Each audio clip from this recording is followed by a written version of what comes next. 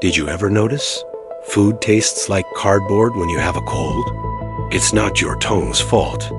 Most people think taste comes only from the tongue. But here's the secret. Up to 80% of what you call taste actually comes from smell. And that's where the problem starts. When you have a cold, your nose gets blocked. That stops smell molecules from reaching smell receptors high inside your nose.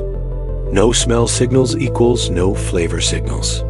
Your tongue can still detect sweet, salty, sour, bitter, and umami. But without smell, food loses its complexity. Flavor is created when your brain combines taste plus smell. Cut off smell, and your brain gets incomplete data. That's why soup tastes flat, chocolate feels boring, and spicy food suddenly feels weak. You're not losing taste, you're losing flavor. When you're sick, your body shifts energy toward healing. Reducing smell and appetite helps you rest, avoid bad food, and recover faster.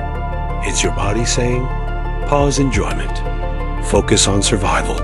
So when food tastes boring during a cold, it's actually a sign your body is fighting back. For more mind blowing human body facts, don't forget to subscribe to Thinkr